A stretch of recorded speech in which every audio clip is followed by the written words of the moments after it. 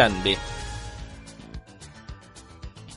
تحلیلگران امور نظامی می‌گویند که آموزش افسران نظامی افغان در پاکستان منافع افغانستان را تهدید می کند. آموزش افسران نظامی افغان در پاکستان از جمله خواستهای پاکستان که طی 13 سال گذشته بارها از سوی حکومت افغانستان رد شده است. به تازگی حکومت به رهبری اشرف غنی احمدزی شش سرباز افغان را به اکادمی نظامی ایبت پاکستان فرستاده است که جنرالان چون مشرف در آن بر اساس پرورش منافع پاکستان آموزش دیدند. حکومت افغانستان فرستادن این سربازان به پاکستان را آغاز جدید همکاری های نظامی می‌خواند.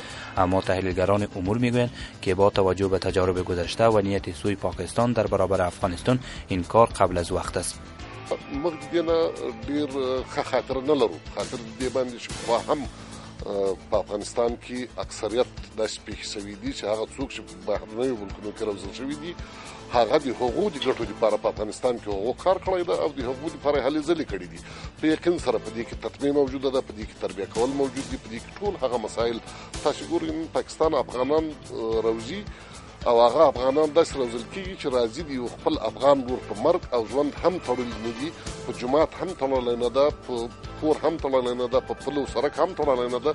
ځانونه لزوي نو څه داسې موږ الته پوځیان ولېږو او هغه پوځیان پر راتلونکي د افغانستان په اکاډمیکو او یا د افغانستان په مهمو پوځي برخو کې خپل کار تر سره کی به باور تحلیلگران تا زمانی که مشکل سیاسی با پاکستان حل نشده است فرستادن نظامیان به آن کشور به جای فایده زمینه را برای نفوذ پاکستان در صفوف نیروهای امنیتی افغان فراهم می کند ښه خاطره د پاکستان لرم موږ د پاکستان پر ضد نیو د پاکستان د خلکو پر ضد نیو یقینا موږ د پاکستان حکومت زوري آیسای زوري اردوی مثلا موږ زوري دا د و چې د تورستان راځي په افغانستان کې موږ استخبارات هم ته شاهدي ورکړي د نړیوال په دې خبره باندې پیږي چې د ځان ته مدرسې لري. نو بیا د خپل ځامن ولې چې ولر تربیه سي نه پیګم چې سره هم به تربیه سي نو خدای پیږي چې سره هم به د خاطر چندان علاقه من نه با باور تحلیلگران افغانستان تجربه تلخ آموزش سربازان در کشورهای همسایه زمان شوروی سابق را دارد و فرستادن سربازان افغان به پاکستان به این معنا خواهد بود که آنها نیز در اکادمی های آموزش خواهند دید که در چتر آن جنگجویان جهانی چون اسامه بن لادن رهبر پیشین القاعده زندگی می‌کرد.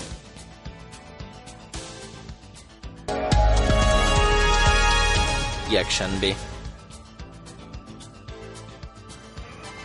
رئیس جمهور غنی می‌گوید اگر جهان افغانستان را در برابر داعش تنها بگذارد بهای سنگین این اشتباه خود را خواهد پرداخت.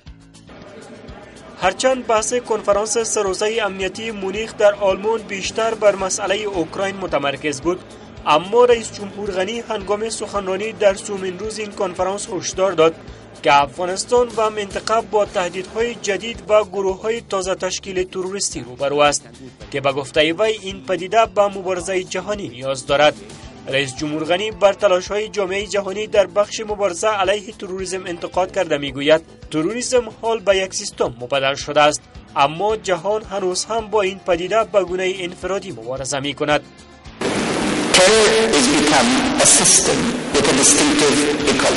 تروریسم و تهدیدهای آن در حال تبدیل شدن به یک سیستم است. اما استراتژی مبارزه ما با این سیستم به گونه خیلی هابتی به پیش می رود زیرا ما در منطقه خود در تشخیص شبکه های این تهدیدها ناتوان هستیم. و دیگر این که ما به سطح جهان به جای مبارزه سیستماتیک با این تهدیدها در برابر آن به گونه انفرادی عمل می کنیم ما باید از افغانستان تا یمن، سوریه و عراق این تهدیدها را محدود به یک کشور تلقی نکنیم.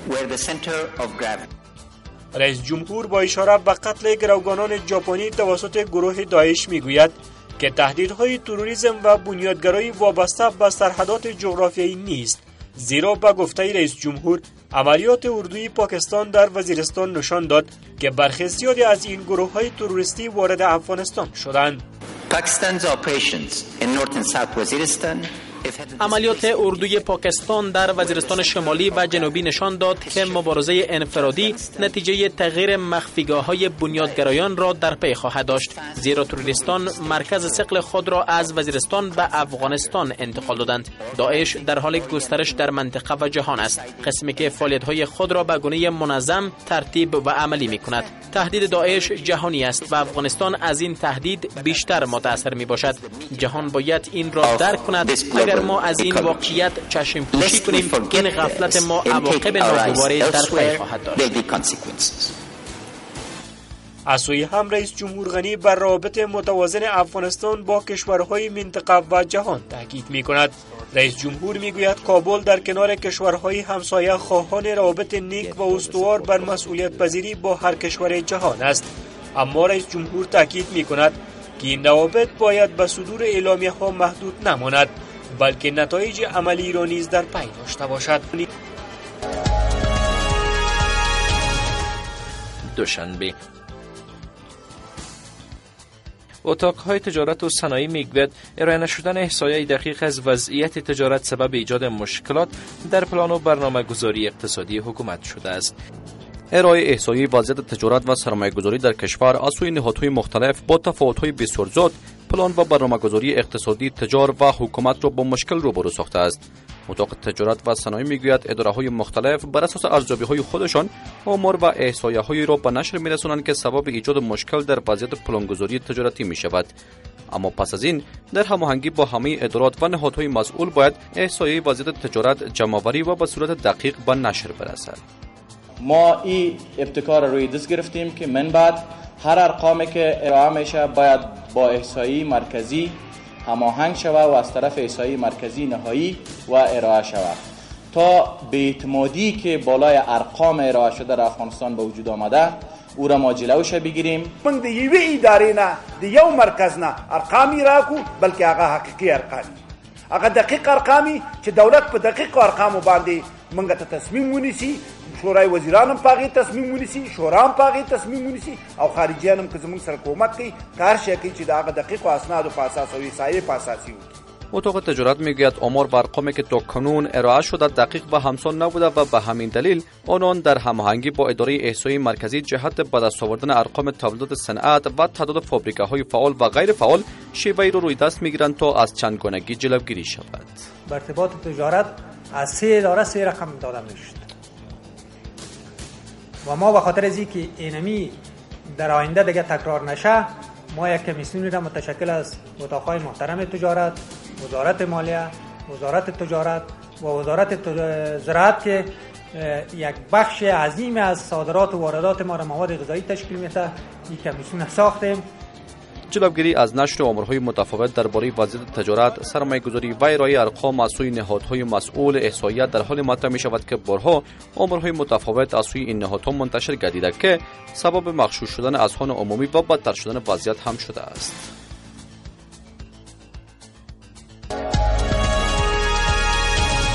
سهشنبه بانک انکشاف آسیایی و حکومت افغانستان قرارداد 130 میلیون دلار کمک بلاعوض را در بخش تقویت شبکه ترانسپورتی امضا کردند.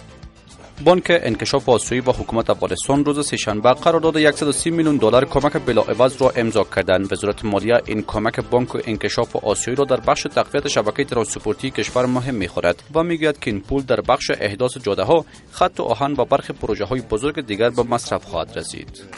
146 میلیون دلار است که از او جمله 109 میلیون از او بانک انکشاف آسیایی و 21 میلیون از او اتحادیه اروپا و متباقی 16 میلیونش ما از طریق بودجه خود تمویل می‌کنیم که در چهار بخش عمده ای تخصیص داده شده که هر کدام از او از پروژه های بسیار مهم انکشافی ماست.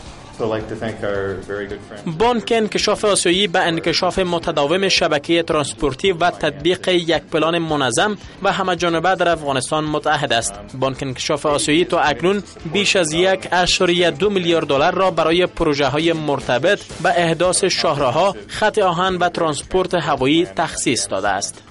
از سوی دیگر وزیر مالیه می‌گوید به شمول گمرک ها و اصلاحات جدی در بخش مرتبط این وزارت متحد است. تمام ساحات که مربوط حکومت افغانستان است در اونجا اصلاحات که اونا بتانن عرصه خدمات به موقع برای مردم برسانن که گمرکات هم شامل از این اصلاحات است و انشالله که نه گمرکات در وزارت مالیه کارهای بسیار خوبی صورت گرفته و اصلاحات دیگه هم لازم است. این در حالی است که باشندگان کشور و تاجران از فساد و گسترده مالی در برخی از های کشور شکایت دارند چهارشنبه چین برای ساخت بند برق دریای کنر و وصل کردن افغانستان با پاکستان از طریق سرک و خط آهن اعلام آمادگی کرده است. برای کار حکومت جدید در کشور ظاهرا روابط چین با افغانستان در کنار همکاری با پروسه صلح در بخش‌های اقتصادی هم در حال گسترش است. با تازگی وزارت خارجه چین اعلام کرده است که این کشور آماده است تا برای اعمار بند برق بالای دریای کنر احداث خط آهن از پشاور تا کابل و از چمن تا قندهار همکاری کند. اما هزینه مالی این تعهد مشخص نشده است. چین توافق کرده که به پروژه بزرگ بند برق کنر و همچنان وصل کردن سرک و خط آهن بین افغانستان و پاکستان کمک کند. وزارت انرژی و آب می‌گوید پروژه اعمار بند برق کنر یکی از پروژه های اساسی و بزرگ کشور است که با اعمار آن بیشتر از 1900 مگاوات برق تولید خواهد شد و این نه تنها به افغانستان بلکه برای پاکستان و چین نیز موثر تمام خواهد شد. این بند بسیار مفید خواهد بود هم به کشور چین هم به به افغانستان هم به پاکستان از لحاظ تولید برق و مهار آب خیلی مفید و اقتصادی و اجتماعی خواهد بود. اگر این موضوع چون در انانس است در خبر است فعلا تا در دایی که با این چی پیشرفتایی می داشته باشه امید داریم که یا آغازینش باشه و زمینه باز شده که ما متخصصین از کشور روی این برنامه بحث داشته باشیم و گام عملی در خدمت برداشته شود این در حالی است که پیش از این قرار بود بانک جهانی پروژه احداث بند برق بر دریای کنر در آن سوی خط دیورن را که از سوی پاکستان را اندازی می‌شد حمایت مالی کند. اما بنابر شکایت حکومت افغانستان بانک جهانی این پروژه را تمویل نکرد.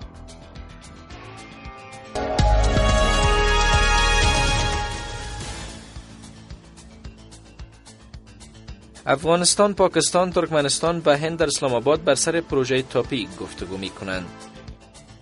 توافقنامه پروژه تاپی در سال 2002 از سوی رؤسای جمهور افغانستان، پاکستان و ترکمنستان با وزیر انرژی هند در اشقابات امضا شد. هرچند پروژه تاپی چند بار مورد بحث و گفتگو قرار گرفته است اما سپس بنابر دلایل مختلف به تاخیر افتاده است. بر روز سهشنبه مقام های افغان پاکستانی و ترکمنستانی بار دیگر در اسلام جهت گفتگو در این رابطه گرده هم آمدند. وزارت معادن و پترولیم می‌گوید در این نشست دو روزه در پیوند به چگونگی عملی شدن این پروژه و اینکه قرارداد آن به کدام کمپانی سپرده شود بحث صورت می‌گیرد. در 19 جلسه تپی که در شهر اسلام آباد برگزار گردید امروز دو اجنده عمومی مورد بحث است.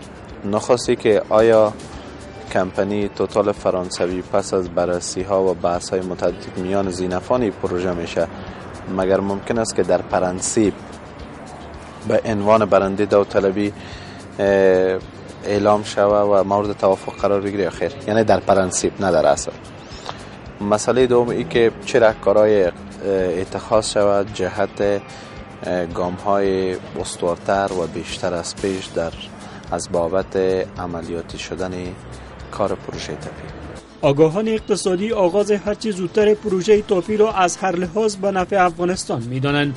و می‌گویند که با آغاز این پروژه در کنار منافع اقتصادی برای هزاران افغان فرصت کاری نیز فراهم خواهد شد.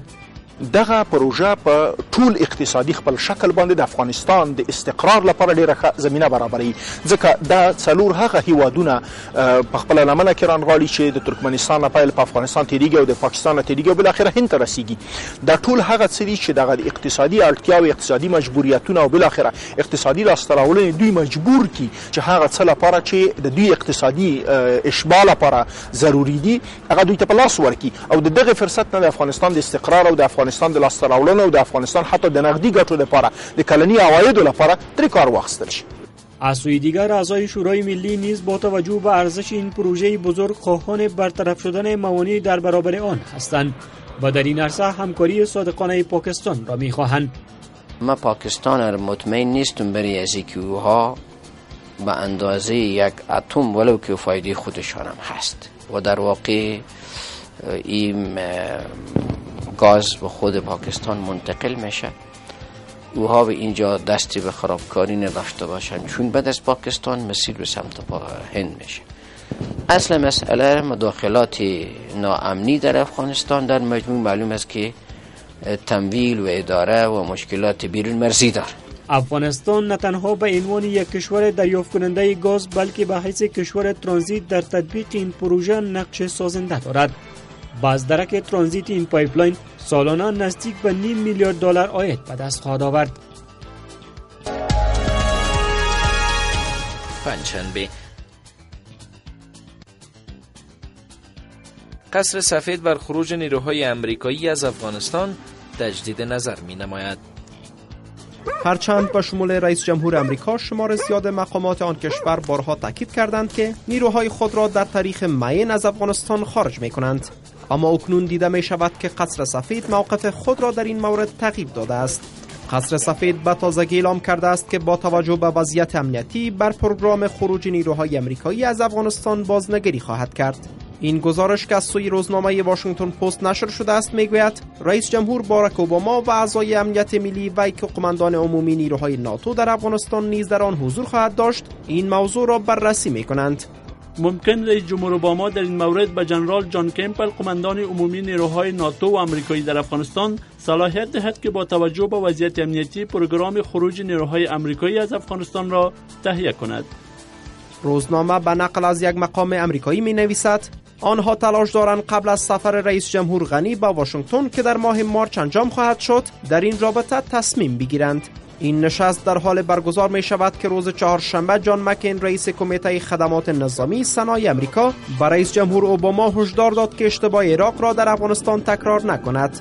گرچه مقامات امریکایی می‌گویند که این کار را بنابر تقاضای اشرف غنی رئیس جمهور افغانستان انجام می‌دهد اما تحلیلگران نظامی این اقدام امریکا را تلاش برای زمین سازی حضور دراز مدت خود در افغانستان تلقی می کنند بر اساس پلان قبلی قرار بود که تا پایان سال 2016 10800 سرباز امریکایی در افغانستان حضور داشته باشند.